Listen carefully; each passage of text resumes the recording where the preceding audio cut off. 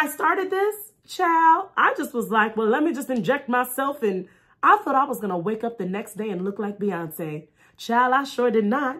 Welcome to Storytime with Sirece. Preview.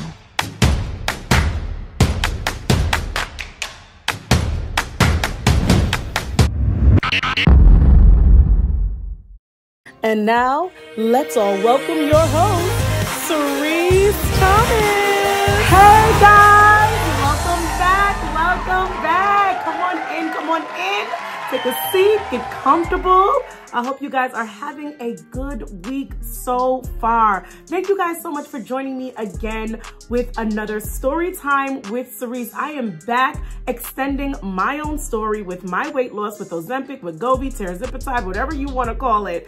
I am here to give a part two and a follow-up. I'm going to keep checking in as my success with this weight loss and this new medicine continues to thrive. Thank you guys for being a part here at my channel. Make sure to subscribe because here on this channel, you will find so many stories, especially those of my own, that are mixed with messages and inspiration and motivation for your life and your journey and your story. And hopefully one day I get to hear yours too. So I hope you're inspired. Don't forget to subscribe and sit back, relax, because we are gonna dive into it. I wanna say thank you for all my new subscribers that are here. I am so excited to connect with you, all the wonderful comments that I've received. I try to literally get back to everyone on the recent video that I posted about my weight loss. I believe then I was 52 pounds down and now I am about 58 pounds down. So I am just going to continue to check in with you. I have a huge weight loss goal of 120 pounds um loss not to be 120 pounds but to lose 120 pounds so i am almost halfway there. I have come a long way, but I've got a ways to go. This is what made it so difficult for me to even share my story because sometimes you feel like, well, I don't want to share my testimony until I feel like I've arrived. But I realize that it's so important to share your journey with other people because it's a testimony that you're even on the journey, that you decided to commit, that you have a plan and you are following what God has called you to do. So join me as I am still headed to the destination, okay? It gets rough sometimes, but y'all are here and I'm so excited to share just, you know, my transparent feelings along the way. I have never really publicly opened up about my weight and my struggle with weight. I just felt like, isn't it obvious? I'm walking around here struggling, breathing hard up the stairs. My heel is hurting. And this has been going on for over 15 years. I've only gotten bigger and bigger and bigger you know, subtly, but I really wanted to just express three main points today on story time. We drop a new story every week. And like I said, I like to share information alongside a motivational message. So you get the whole thing. You get the information and you get some inspiration at the same time. So I wanted to come back here and follow up and I will continue to do so as I continue my weight loss journey. And I just wanted to encourage you. Some of the comments that I've seen have been so encouraging, but it also kind of made me think about some things and I wanted to really emphasize where I'm at and how I am successfully pursuing this journey towards weight loss. Now, I want to be very intentional when I say successful because we can achieve a lot of things in life, but they're not successful when you're not dealing with the whole person, right? Like you may reach a physical goal, but mentally and spiritually, you are depleted. And to me, that is not success. You may reach a financial goal, a career goal, a family goal, a relationship goal, but if there is some area in your life that is not lining up, to me, I'm just like, something's off right? Like if I finally get the husband and the but spiritually, I'm depleted because maybe I moved too fast. Maybe I settled down with the wrong one. Okay. You're going to start feeling those things, you know, um, pop up. So when I say success, I am talking about my journey as a whole person, not just my physical weight loss, but the weight loss of stress. the weight loss of negative perspectives of myself, the weight loss of the bad narrative, the depression, the anxiety, and everything that comes along with it. So please, even if you're not on a weight loss journey, don't tune out just yet because this message is for anyone that is on a journey looking to achieve a big goal. It's the journey that matters. If you can't lock down how to successfully be on a journey, your end goal doesn't even matter because it really won't be what you're looking for in the end. You can't cut corners. You can't jump through loopholes. At the end of the day, you really have to do the work in order to truly see success in your whole person, your mind, body, and spirit. Okay, so I want to get into this. Like I said, I'm not going to be before you long. I just really wanted to highlight my personal journey with weight loss it's a big one. I want to lose 120 pounds. I'm already almost halfway there. And so I really want to share what I have learned because in the beginning of this journey, I was not being successful. I was losing weight and still feeling like I'm not doing something right. When I started this medicine, uh, Wegovy, Tirzepatide, basically I'm on the compound version, which is the generic version, Tirzepatide, but is the same thing as Mounjaro, the same thing as Wegovy, the same thing as Ozempic. Um, so for those of you that are on that, you may understand semaglutide, whatever one that you're on, that's what I'm on. It's pretty much a similar thing doing the same thing. When I started this, child, I just was like, well, let me just inject myself and I thought I was going to wake up the next day and look like Beyonce. Child, I sure did not. okay? And and I'm exaggerating, obviously, right? But after about two months of being on this medicine, and I want to be clear here, because what I want to do in this video is thank God for sending me this path to help me, but I cannot give all the credit to this medicine. And you shouldn't either if this is something you are thinking about doing or you are already doing this, right? All the credit does not go to this medicine. It is medicine. It is simply a support system. Now, before I even knew about this medicine, uh, my journey was leading towards weight loss surgery, which I think is a wonderful option if that's the option for you as well. People do weight loss surgery. People do the medicine now. So whichever one there is, people, I mean, some people just are able to get it together without medicine, without surgery, and they've got the willpower. But you have to understand one of the things that people are talking about now. And I always shout out Countess of Shopping. Make sure you check out her YouTube page, Countess of Shopping. She really, uh, she gets into the details and the information, but the truth of the matter is people are realizing that some people actually have GLP-1 deficiencies, which simply means your mind is not telling yourself that you are full and you continue to eat and you do not know when to stop. Now, me, I'm not going to hold you up there I might have a little bit of that, but I think it's only because I've abused it over time.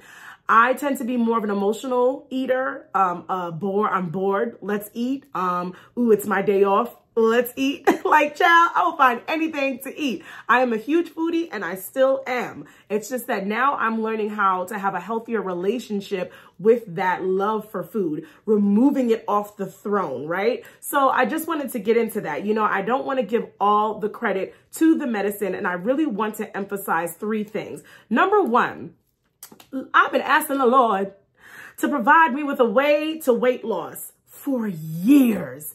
And like many other people that are on a weight loss journey, what are the one of the number one things we say? We done tried everything, right? I said that in my last video. We tried Weight Watchers, her watchers, his watchers.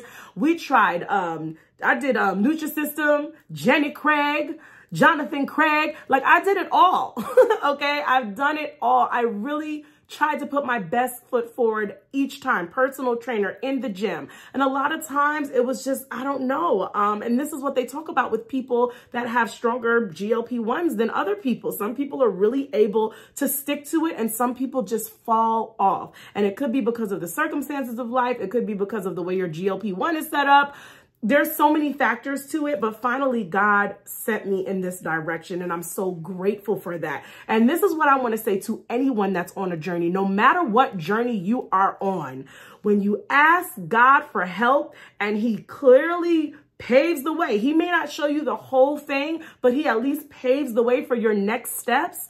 Be confident, take that path and don't look back. Okay. And I always think about two things. You guys ever heard that story where there's a man uh, in the middle of the ocean on a tiny little boat and his boat is sinking and he's like, Lord, please don't take me now. Please help me. And please send me, send me some help. Lord, rescue me. And so then somebody drives by on another boat and they're like, hey, do you need some help? And he's like, no, don't worry. I prayed about it. The Lord's going to save me. And then another person comes by in an airplane. He's like, hey, do you need some help? And he's like, no, don't worry. The Lord is going to save me. And then another person comes by and is like, your boat is almost underwater. Do you, do you just want to, he's like, no, no, no, no. I trust in the Lord high God. He is going to save me. And what winds up happening is he drowns and he wakes up in heaven like, child, how do I get to heaven? Lord, I ask you to save me. He said, I sent you three people to help you and you ignored all of them. And that's what I think about. Listen, everybody's path is different, but whatever God decides, hey, this is what I'm asking you to do. This is what I presented to you. Don't just keep asking God, oh, just please. The Lord is not going to come down and shrink your waist. He's not going to lower your, your, your diabetes or your hypertension. Okay. He's not going to just do that. He's going to send you support for whatever your goals are, whether it's financial, whether it's in a new business endeavor, whether it's your career, whether it's your desire for a wife or a husband, whether it's your desire to conceive. You need to find out, Lord, what's the plan? If you are reading the Bible, if you're in your word, God always has a plan and his plan is the only way. Many times his plan is not always the most favorable in our eyes until we start walking in it and we say, oh, I see why you had me go this way because you know me better than I know myself. And you knew that this was going to be the thing to get me to true success. And what do I mean about true success? That means I'm not just successful in my body. I'm successful in my mind. I'm successful in my spirit. All of those things matter.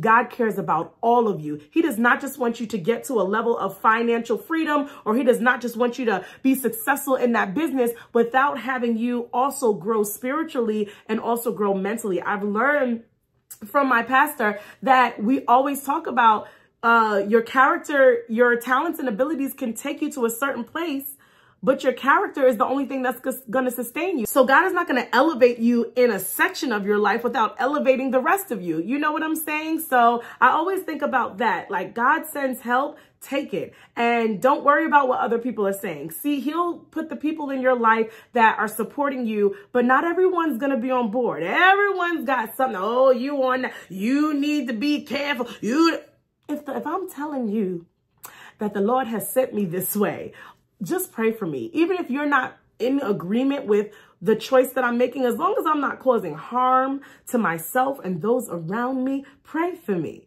Because I, some people just, they get uncomfortable because you finally mustered up the courage to submit to a plan and they're still out there walking in the dark. So there's a lot of different things that happen when you finally decide to walk a path that God has called you. There are people around that are just like, uh, I can't take it you know, her success is making me uncomfortable. And the only thing that's making you uncomfortable is that you haven't decided. The Lord is sending you the same help that he sent me. It's just that you haven't decided to be, to, to use your faith and grab onto that help, right? Another thing I think about is um, the story of Lot's wife when the village was burning down and Lot and his wife and his family were walking away and God said, don't look back. Do not look back. And she looked back and she turned into a pillar of salt. She froze. And I think about that with, uh, with us. Once God sets you on a journey it's so important the people that are in your ear and where you're going because when you look back, that's how you paralyze yourself from getting from one place to another because you start looking back, you start looking at your old habits, you start looking at your old mindset, you start looking at your old way of life. And it, of course, it's going to entice you. It's a familiar place. You're comfortable there. But when you look back, you paralyze yourself and you disqualify yourself from being able to truly move forward. So that's point number one. God God is going to send you help. And when he does, trust it. Your path may look very different. It may make other people uncomfortable. But if you know that you know that you know that God is sending you that way, take those steps and don't look back. Sometimes we paralyze ourselves not just by looking back, but we stop, we freeze because we're listening to the other voices. We're listening to people, especially on a weight loss journey. Do you realize people feel like they have the right to say things about your body? There's body shaming. There's people that are judging you. There's people that are speaking about your choice and they're speaking so, and if you get caught up in that, you will freeze just like Lot's wife. So you want to make sure that you are focused on the end goal and cloud out those voices, including your own. When you get focusing on God's path, you need to memorize some verses or whatever it takes you to constantly keep your thoughts on him and keep your focus forward. Okay. So number two, as you are moving forward in a new lifestyle, yes, once again, I am grateful that God sent me this specific help, which was the medicine, but also he looked at me after two months and he was just like, oh, you ain't to get nowhere. Again, I'm not just here to help you with your physical. I'm here to help you with a new relationship with food. And I'm also here, here to remind you to lean on me, to get closer to me, to grow spiritually. And so as you move forward, and even with this medicine, this new, these new GLP-1 medicines, yes, we are grateful for them. We are grateful for how they're supporting people, but you have to do the work. You have to do the work. One thing I realized two months after taking this medicine, I was losing like one pound a month. I was like, child, you know, wait a minute. I said, I have to change my habits. I came to terms with it. I said, I'm reading too many success stories of people on this medicine. And why am I not successful? Because I'm not doing the work. They said that you should at least move three times a week for 30 time, 30 minutes get exercising, and you have to have a healthy relationship with food. And that took me some time. And that's when I joined a program, Kick and Weight with Keisha. I joined her program and every week was a new challenge. And that's what set off my weight loss. So like I said, grateful for the medicine, giving it all the credit? Absolutely not. You have to, I just got back from the gym and I was so, I did not get good sleep last night. My daughter woke up at five o'clock in the morning. She also woke up at three o'clock in the morning, but I said, I've got to do the gym. And I, I couldn't even imagine. I look back at myself like for three months ago, I would have never, never gone to the gym. especially being tired, oh, forget it. Now, trust me, I'm not up in there lifting 500 pound weights and running four hours of cardio. Mm -mm. I either take a 45 minute class or I'm on the treadmill for 45 minutes and do some cute lifting. Look, look, he never said I had to be a gym guru, okay? Because that's not my calling. but I am feeling great in my body. I'm feeling stronger. And with the new challenges, um, with the food when she gives like food challenges, different, a lot of fasting, a lot of uh, food challenges, like the like veggie challenges, detox challenges, liquid fast challenges. With that is when I saw the most. Now, don't get scared because you might be watching this and being like, oh, forget it then. I'm not going to take the medicine because I can't do that. I had to work my way up there. uh, one day, any journey that you are taking, you need to give it one day at a time and sometimes one hour at a time. Do not push yourself beyond the limits. That's me. I will be like, okay, it's time for me to get in shape. Five days a week, I'll be in the gym. The next week, you won't see me in the gym because I pushed myself too hard. And I'm like, I can't do what I did last week. So I took baby steps. I started walking for 15 minutes, maybe one day a week. okay.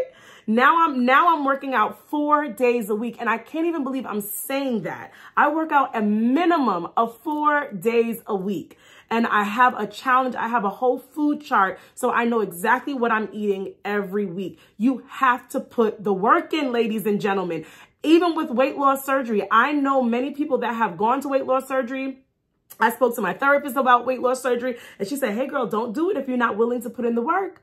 Do you know how many people have gained the weight back from getting off of GLP-1 medicines and two years later after weight loss surgery, they just gain all the weight back. People are getting multiple surgeries, which is not healthy because they're just not changing their mind. They're not putting their mind on the journey. They're putting their physical body on the journey and leaving their mind and spirit behind us.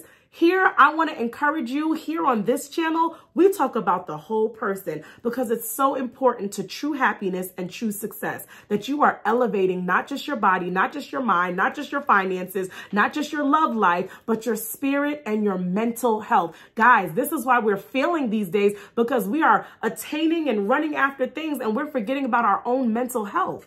I just did a video about, uh, check out the one called A Safe Space. We, before we can be a safe space for other people, we have to be a safe space for ourselves. And in order to do that, we have to be at a place where our mind, body, and soul are, are literally elevating at the same time.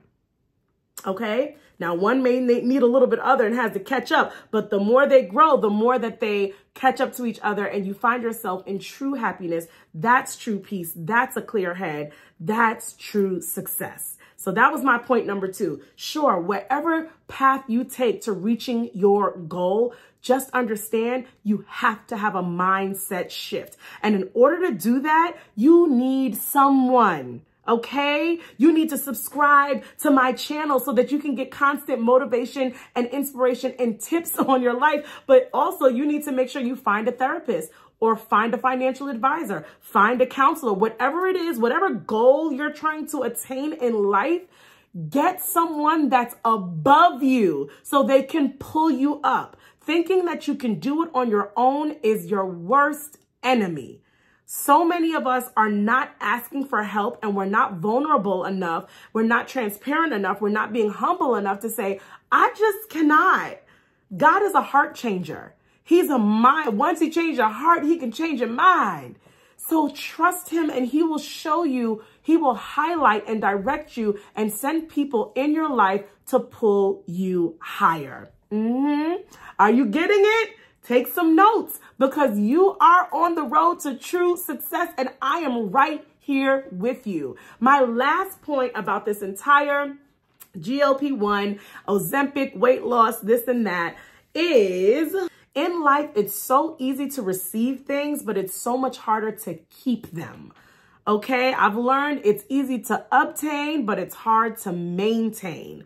So just because you may, God will send you some help, you have to do the work to keep it there. So I know that once I reach my goal and I stop taking these GLP-1s because I am believing that I don't necessarily have a GLP-1 deficiency like some people do that may need to take the medicine for the rest of their lives. I just think I abused it and stopped listening. I believe that I can be very successful off of this medicine if I do the work. I've lost weight before without medicine. I've lost like 65 pounds before without no medicine, but I did it on my own strength. And when you do things on your own strength and you're not relying on God to give you what you need to get to the next step, you will find yourself not only back in the same spot, but probably worse. And that's where that's what happened to me. That's my story. But it didn't end there. God has more chapters for you. So even if you're feeling discouraged today about a journey where you feel like, man, I, I got so far and now I just fell, do not be discouraged. That was just a chapter. God is still writing your story. You just need to get back up and approach it differently. Put him back on the throne. Follow the path that he has set out for you, even if it's not the popular one, even if it's the one where people will be talking, people will be judging you. Just trust him. Do you know how many people were like, Peter, you going to step out on that boat? Are you sure? Do you know what water does when you step on it without a floaty? You will sink. People will really try to stop you because again, it makes them uncomfortable. Because if you step out on water and they don't, and you succeed, it lets them know that they are not on the right path, that they need to push their faith. You know what I'm saying? So it's all right. Let's be in the business of making others uncomfortable for their benefit so that they see you and they're just like, okay, I just can't stay here. I cannot just stay here and complain. I cannot just sit here in depression. I cannot just compare myself to everyone. What about me? What about me? Yeah, God is saying, what about you? I got you. I have a plan. Are you ready? Are you ready to try it again? This must be my 7,999th attempt at weight loss. And it's the first time I'm feeling successful. And it's because I put God on the throne and I followed him and I decided that I had to do the work. He lent out his hand. He gave me his support. He showed me the path, but he said, don't let that be the end all be all. You need to step up your game mentally and spiritually. And I'm telling you, don't give up you still have an opportunity to get it right and, and make it there. Whether it's weight loss, whether it's financial, like I said, this applies to any big journey that you're on. Every goal in life that you want to achieve, you want to make sure you submit it to God's will. And you want to make sure that you are doing the work while you are taking those next steps.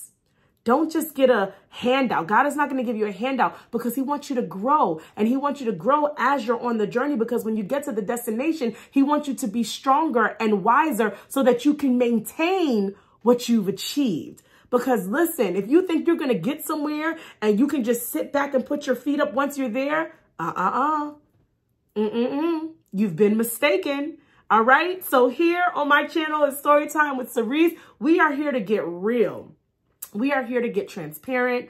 We are here to get honest okay? And we are here to push each other. So thank you guys for tuning in. Again, please don't forget to subscribe. I want to connect with you. I want to connect with you in the comments. So leave a comment down below. Let me know what is your journey? What are you struggling with? And what are you willing to try again, but better this time? This time, making sure you seek God's plan and take his help. Don't look back. And this time, making sure you actually pursue a mindset shift and a lifestyle change and also remembering that you have to do the work. Okay, so I hope you guys were blessed by this. Look, Jesus is on the main line, y'all. Let him take the wheel, but you can't fall asleep. When he was talking to his disciples, he's like, hey, I'm going to go over here and talk to God. You know, stay over here, be praying watchful and alert. Be praying and watching at the same time. Be building and praying at the same time. And he came back and the disciples were asleep. And he was like, no, no, no, no, no, no. I didn't say that I was just going to go and do this for you. Wake up. Stay awake. Okay, God is saying we're in this together. We are partnering in this. And I'm giving you the strength you need and the wisdom you need to figure this thing out so that you can truly be successful. That is true happiness. People are looking for happiness in so many ways and not realizing that it starts right here within. All right, so be encouraged. I've been so excited on my journey. Like I said, I've been taking the compound version since Zepbound and all of that stuff is not in stock. And if you're interested, please check out Join Fridays. That is the program that I uh, go through to get my compound medication and it isn't a vial. You do have to inject yourself. I know some people are very, very nervous about that, but the more you do it, the easier it gets. I said I compare it to like an acupuncture. The needle is so tiny. So you'll feel a pinch, but it's not like if I was to pinch you in real life. You know what I'm saying? So you do that.